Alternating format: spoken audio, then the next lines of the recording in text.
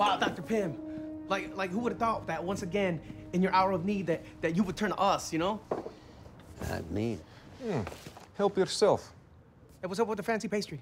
We gotta keep the food budget down. Well, what are we supposed to have for breakfast? The oatmeal packets. Oatmeal packets. It's insult.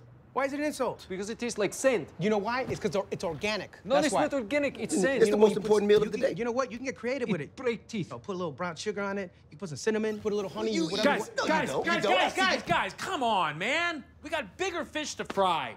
Is that my desk? Yeah. What?